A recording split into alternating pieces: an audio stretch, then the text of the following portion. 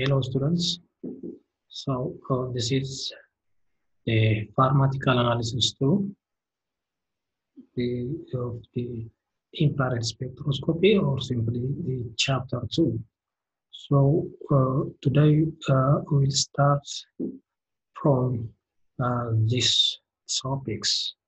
So the outcome of uh, these topics is, or the learning objectives of uh, this topic is to interpret the IR spectra and to explain the basic principle of IR spectroscopies and to arrange the component of IR uh, spectroscopy device and to explain the working principles and uh, taking of spectrum of IR and to learn the proper sample handling procedures for uh, acquiring of infrared uh, uh, spectroscopies.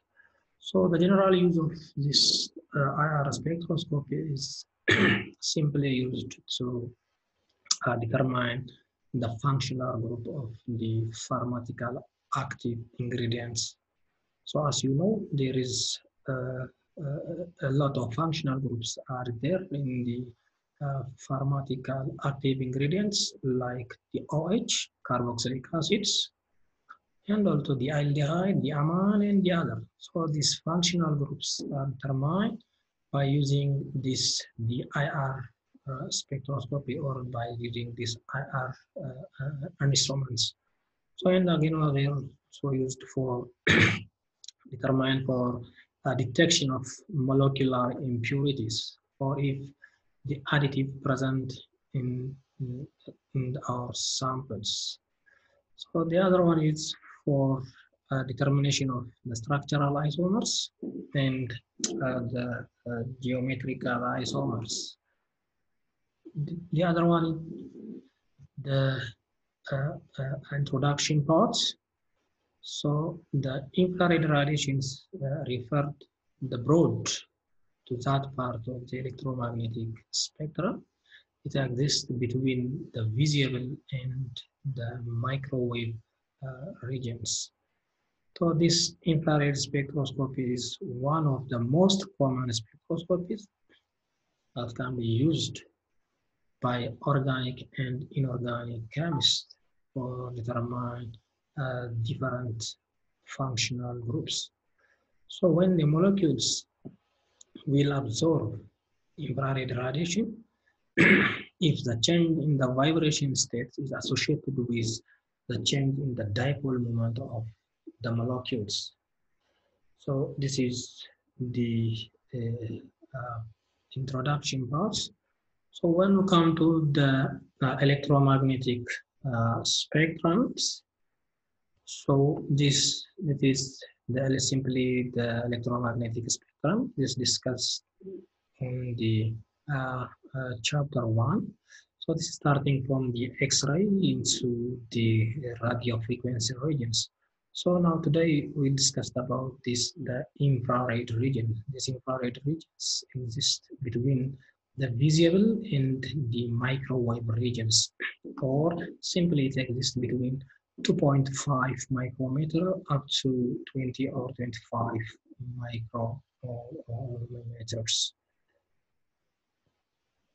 So uh, uh, what happens when the IR radiations interact with uh, our samples? As you remember before, uh, when we are uh, when the UV lights interact with our samples, there is transition of valence shell electrodes from electrons from the ground state into uh, the higher states. Okay, when our samples interact with the UV visible, so there is the transition of electron from the ground state to the higher state, especially the uh, pi pi transitions or non-bonding to or pi star. I think we are uh, discussed about before is in the chapter one. So when we come to this, the IR, what happens when the sample absorb the IR regions? Okay. So there is, when the IR interact with the IR light interact with our samples, there is, or simply the interaction, IR light interact with the pharmaceutical active ingredients, there is the stretching and the bending of the bond. When they are, let's say, let's say the frequency around 3,500 centimeter inverse, say types of frequency interact with our samples. So the stretching of the bond, it exists the stretching of the bonds. When the IR light around uh, uh, 1,000 300 centimeter inverse. In this case, there is the bending of uh, uh, the bond, bending of the bond. So generally, when the IR lights interact with our samples, there is the stretching, okay, there is the stretching of the bond, just like this one.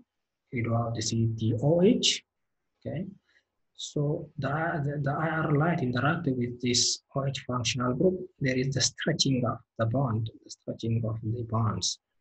Or sometimes there is when the, the IR light around uh, 1400 centimeter inverse types of frequency interact with our samples, there is the uh, bending of uh, the bending of the bonds, bending of the bond. So this is a simple principle of uh, the IR when the lights interact with our samples. So the IR really, the IR region is usually between 2.5 up to, to uh, 25 uh, micrometer. So the unit of this IR is uh, simply expressed by wave number or centimeter inverse and it exists between uh, 4000 up to 400 uh, centimeter inverses. You see the simple units, they are expressed by frequency or centimeter inverse. Sometimes again it's expressed by wave numbers, a wave number to calculate a wave number when we are divided frequency by speed of light, possible to get uh, the wave number. So the IR, uh, IR expressed is by wave number or by frequencies or by wavelengths, but commonly expressed by uh, a wave number. So this is a simple mathematical relationship. So here you have, we have a frequency, 3 times 10 raised to 1 3 centimeter inverse. So it's possible to get from this number, the possible to get the wave numbers from this frequency. So when we are divided the frequency by using speed of light, so it's possible to get uh, the wave number. So it's around 1000 centimeter inverse. So again, also it's possible to get from uh, uh, uh, wavelengths from the wave numbers. So there is the inverse relationship between the frequency and the wavelengths. This is the intensity, the intensity. So the intensities may expressed in terms of transmittance or percent transmittance. Okay. When we say it's a transmittance, so let's say here you have these are your samples. So the lights interact with, when the light interact with your samples, some amount of light is uh, transmitted to your sample and some amount of light absorbed by uh, your sample.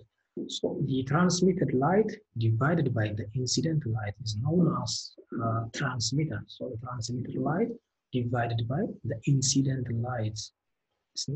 When we are dividing the transmitter light by incident light, it's possible to get uh, the transmittance. Okay. The other concept is the absorbance. I think we are this, this part is discussed in the uh, chapter one. When we come to the absorbance, the negative log of t, okay, the negative of log of t, possible, the negative log of t is, is the absorbance. When we say is t, transmit light divided by incident light or simply we call it about minus log of t. When we say it absorbance, so the amount of light absorbed by samples is known as the absorbance. I can also this is the simple mathematical relationship to calculate the uh, absorbance.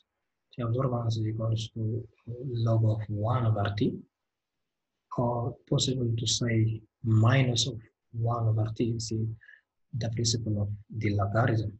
So by using this relationship, possible uh, to calculate the amount of light absorbed by samples. If you want to plot the IR spectra, so in the uh, x-axis, the uh, there is the wavelengths or the wave numbers, and in the uh, uh, y-axis there is the intensity, the intensity that we about the uh, percent transmitter. This intensity is expressed by percent of uh, transmittance. When we come to the IR region, there is commonly divided into three small groups, into three small groups.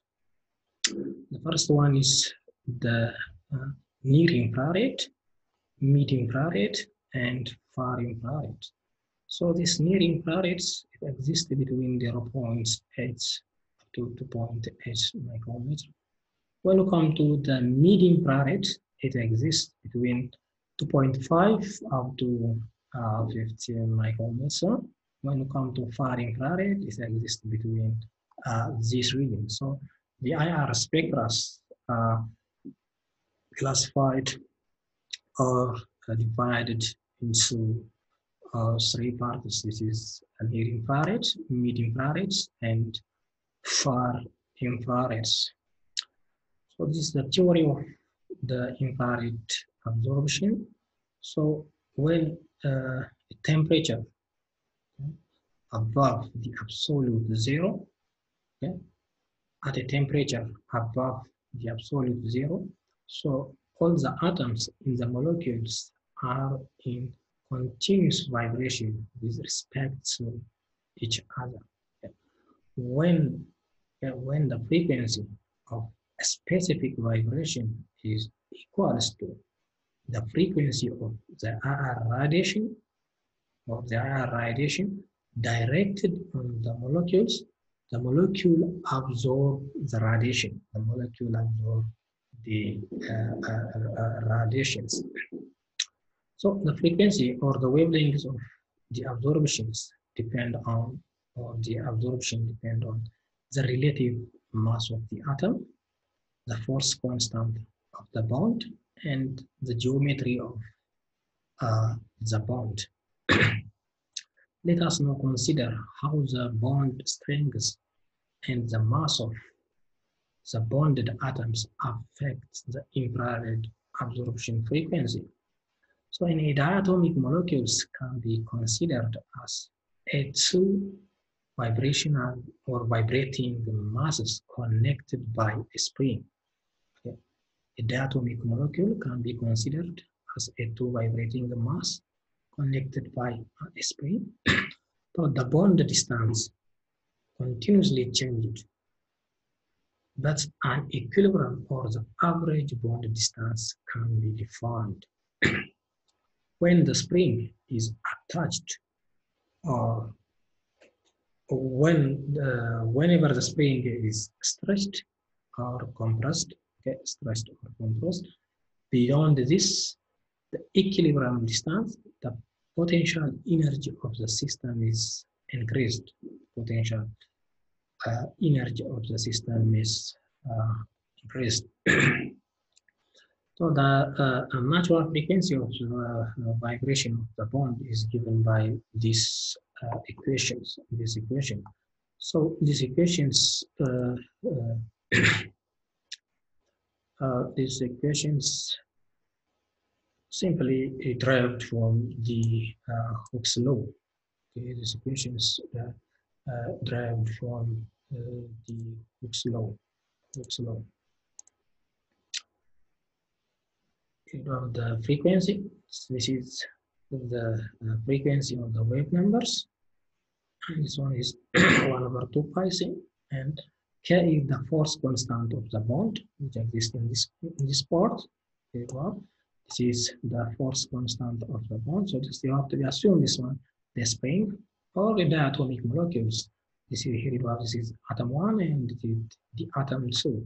When the IR light interact with the samples, there is the stretching and the, the compressing of the bond, or there is the stretching. When the bonds are stretched equally, we call it about symmetrical stretching, symmetrical stretching. And also uh, there is also the asymmetrical stretching. Just let, let assume this one is the one bond and the second one is the another bond. When it is stretched equally, stretched equally, or assume this one is the four molecules, this assume as oxygen, this one the hydrogen and the hydrogen atom. When they are light interact with our sample, our sample, there is the stretching of the bond, the stretching of the bond. When this bond equally stretched, is known as symmetrical stretching, symmetrical stretching. So to calculate uh, the frequency of vibration, so just you have to be used uh, this uh, formulas, this formula. This formula is derived from the uh, simply the Hooke's law. Is it the reduced mass? The reduced mass. But to calculate the reduced mass, so just you have to be use mass of the atom the mass of the M1 of the atom times the mass of the M2 of the atom divided by the sum of the two mass. This is known as the reduced mass of the system. The reduced mass of the system.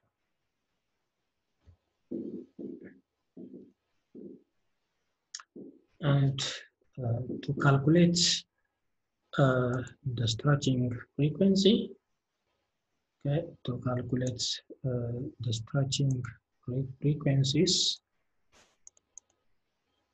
by using frequency or the frequency in the wave number.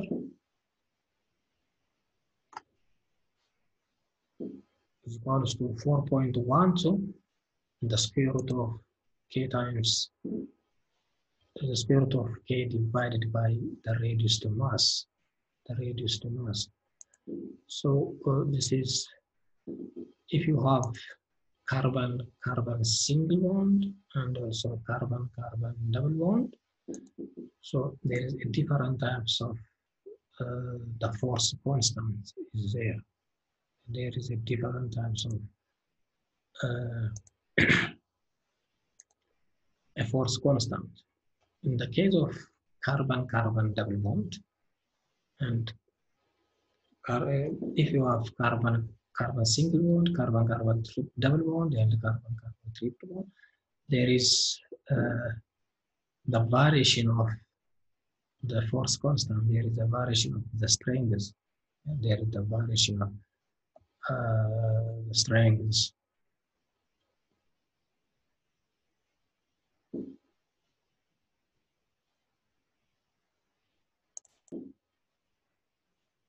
So if you want to calculate the stretching frequency, it's possible to use by using these formulas, these formulas.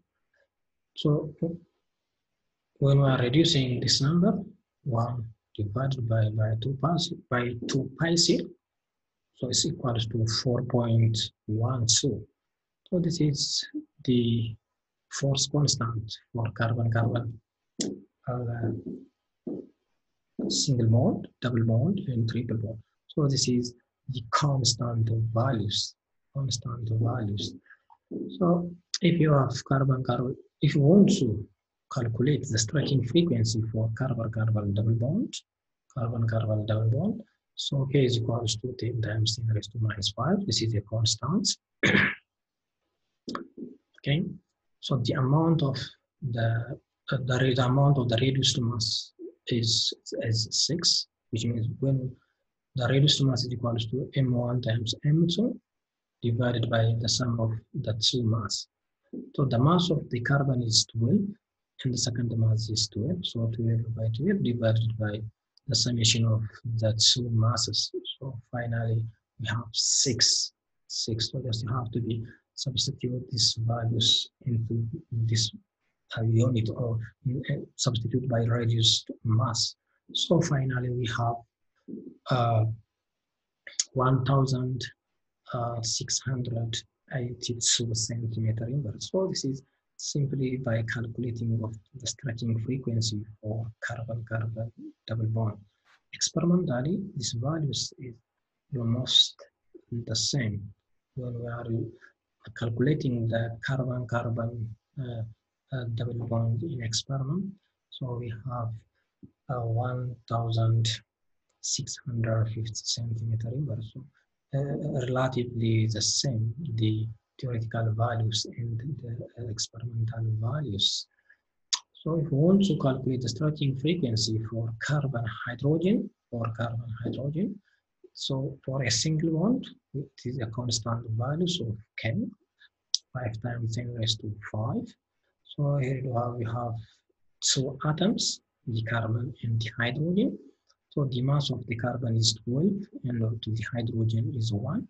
So 12 times 1, we do have 12 times 1 and divided by the sum of just two atoms.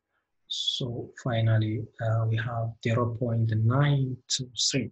So yes, you have to be substitutes in the, the reduced in the, in the reduced mass units.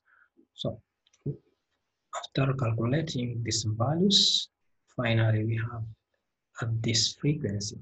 So these theoretical frequencies, so theoretical distracting frequencies is the same one, same with the experimental one same with the experimental one. So it's possible to calculate stretching frequency by using uh, uh, the following formulas.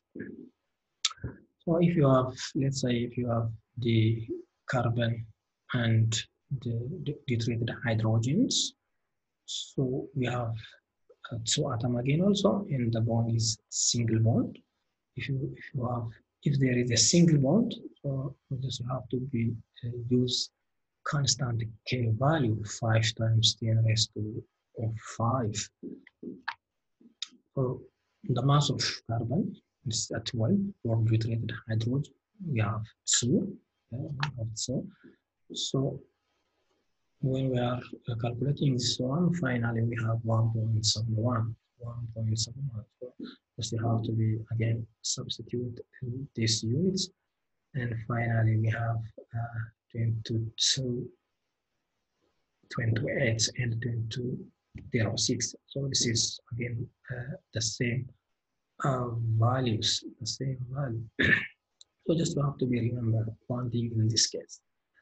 Here you have this is the same mass, okay, the same atoms and also here you have this is the smallest mass and again also this one is it is the higher mass when we are comparing with the hydrogens with the hydrogens so when the reduced mass is increased okay the reduced mass is increased the stretching frequency again also it says decrease.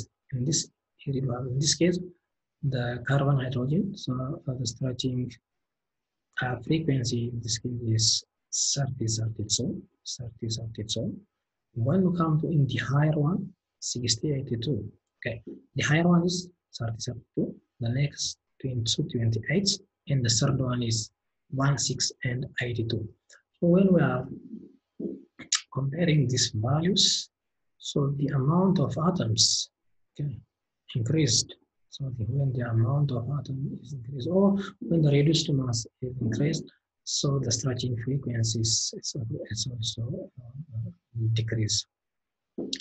Now let's come to the bond length strength versus the stretching frequency. Stretching frequency. we see the bond, okay, triple bond. We draw in this case double bond, also it's a single bond.